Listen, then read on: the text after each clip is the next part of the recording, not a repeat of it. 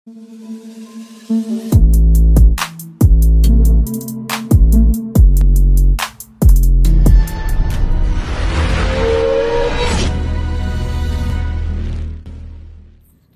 ស្តីបងប្អូនទាំងអស់គ្នាថ្ងៃនេះខ្ញុំមកបង្ហាញអំពីរបៀបនៃការធ្វើចាប់ឆាយអញ្ចឹងគ្រឿងផ្សំសំខាន់សំខាន់នោះរួមមាន នេះគឺឆ្អឹងជំនីជ្រូកហើយនេះគឺត្រចៀកកណ្ដុរហើយនេះគឺផ្សិតក្រៀម នេះគឺពពុះសណ្ដែកនេះគឺស្បែកជ្រូកបំពងហើយយើងមានបន្លែនេះគឺការ៉ុតមើមឆៃថាវហើយនេះគឺស្ពៃបូកូហើយនេះគឺខាត់ណាចាស់យើងមានស្ករក្រហម បង្គាក្រៀមប្រេងខ្យងនេះគឺមើមខ្ទឹមសដែលខ្ញុំបានចិញ្ច្រាំហើយហើយនេះគឺម្សៅស៊ុបខ្នុរ ហើយនិងអំបិលបន្តិចផងចាហើយនេះគឺទឹកត្រីហើយយើងមានស្លឹកខ្ទឹមស្លឹកខ្ទឹមនេះដែលខ្ញុំហាន់ហើយហើយនេះគឺជីវ៉ាន់ស៊ុយអញ្ចឹងសូមរងចាំទស្សនានៅការធ្វើទាំងអស់គ្នាចាជាដំបូងនេះគឺខ្ញុំដាក់ឆ្នាំងឲ្យក្តៅហើយបន្ទាប់មកគឺខ្ញុំចាក់ប្រេងអូលីវចូលតែម្ដង តទៅទៀតគឺខ្ញុំចាក់មើមខ្ទឹមសដែលខ្ញុំបានចិញ្ច្រាំហើយហើយនឹងចូលទៅចាហើយយើងលីងបែបនេះបងប្អូនដើម្បីឲ្យវាក្រៀមពកចេញពណ៌លឿងបន្តិចហើយមានក្លិនឈ្ងុយបន្ទាប់មកគឺខ្ញុំចាក់ឆ្អឹងជំនីជ្រូកចូលតែម្ដងអឺបងប្អូនអាចដាក់លាយជាមួយនឹងសាច់មាន់ក៏បានដែរអញ្ចឹងខ្ញុំចាក់សាច់មាន់ លាយចូលទៅជាមួយនឹងឆ្អឹងជំនីជ្រូកបន្តិចទៀតចានេះគឺសាច់មាន់ដែលខ្ញុំចាក់លាយចូលទៅតែម្ដង ហើយខ្ញុំច្បល់បែបនេះ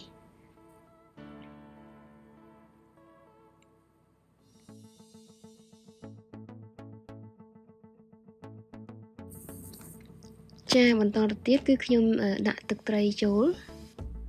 ហើយដោយសារតែសាច់មានចំនួនច្រើនវាចូល1គីឡូកន្លះហើយអញ្ចឹងខ្ញុំថែមទឹកត្រីចូលបន្តិចទឹកត្រីគឺខ្ញុំថែម1ស្លាបព្រាបាយថែមទៀតហើយខ្ញុំច្របល់បែបនេះដើម្បីឲ្យវាចូលជាតិទៅបងប្អូន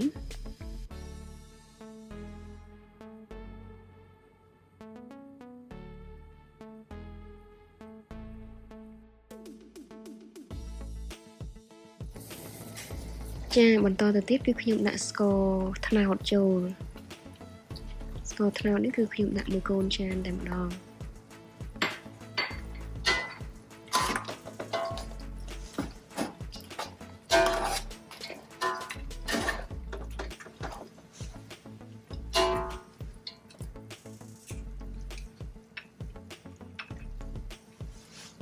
ចាហើយបន្តមកទៀតគឺខ្ញុំដាក់ប្រេងខ្យងចូលតែម្ដង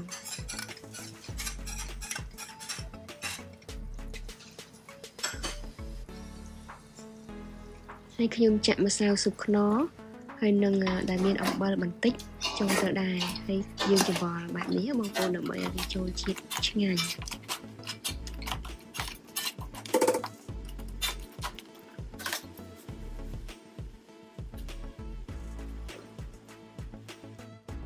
បន្តទៅទៀតគឺខ្ញុំចាក់ផ្សិតចូលផ្សិតនេះគឺផ្សិតក្រៀមដែលខ្ញុំបានលាងទឹកត្រាំទឹកស្អាតហើយ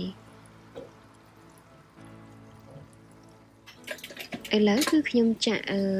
អឺពពុះសណ្ដែកចូលដែរហើយពពុះសណ្ដែកនេះគឺក៏បានត្រាំទឹកនិងលាងឲ្យស្អាតដែរហើយបន្តទៅទៀតគឺខ្ញុំដាក់អឺស្បែកជ្រូកបំពងចូលតែម្ដង ស្បែកជ្រូកនេះគឺបានលាងហើយស្អាតអស់ហើយហើយបន្តមកទៀតនឹងគឺខ្ញុំចាប់ផ្ដើមច្បល់បែបនេះបងប្អូនដើម្បីឲ្យវា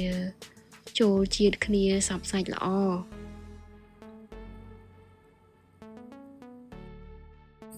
ចាហើយបន្តទៅទៀតនោះគឺខ្ញុំដាក់តិចកដុលចូលតែម្ដងតិចកដុលនេះក៏យើងបានលាងស្អាតហើយដែរ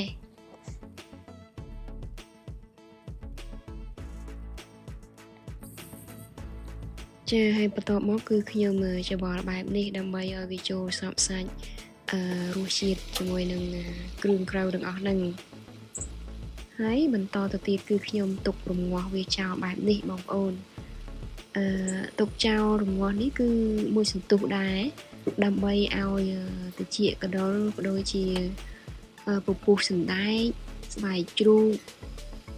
ទាំងអស់នេះឲ្យវាយើងទុនបន្តិចបងប្អូនទុកឲ្យយើងទុនបន្តិចសឹមយើងចាក់ទឹកចូលអញ្ចឹងខ្ញុំទុករងាស់ចោល ចាឥឡូវខ្ញុំមើលឆែកមើលឲ្យថាវាទុនល្អបន្តិចហើយហើយបន្តមកទៀតគឺខ្ញុំចាក់ទឹកចូលតែម្ដងចាអញ្ចឹងខ្ញុំចាក់ទឹកចូលនេះយើងចាក់ម្លិចម្លិចសាច់ហ្នឹងណាបងប្អូន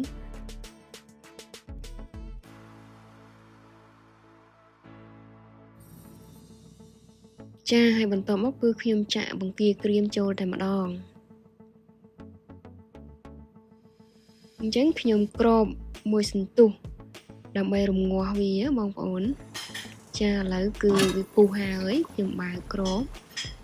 ឃើញថាពុះហើយមានក្លិនចាប់ផ្ដើមឈ្ងុយហើយ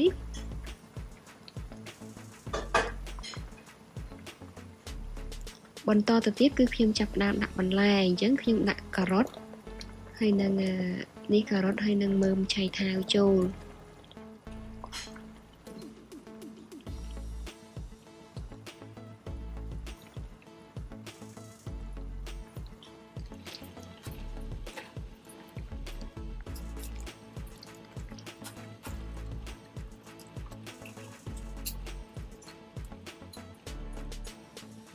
ចាអញ្ចឹងដើម្បីឲ្យការ៉ុតហើយមើមឆៃថាវយើងឆាប់ឆ្អិនអញ្ចឹងខ្ញុំក្របបន្តិចខ្ញុំគ្របមួយសន្ទុះ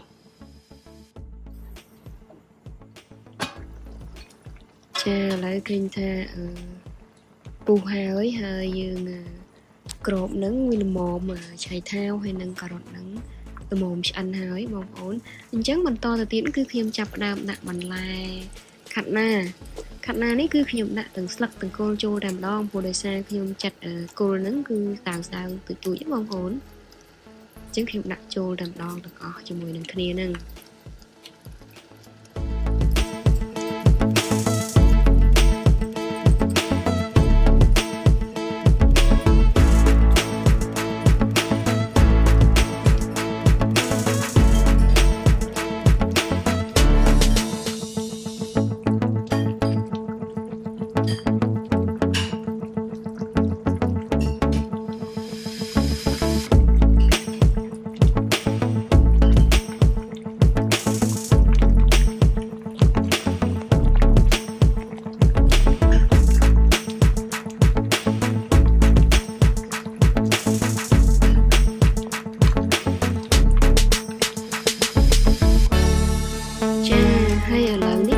ស្ពៃបូកូចូលហើយហើយស្ពៃបូកូនេះក៏បានលាងស្អាតមកចិត្តហើយ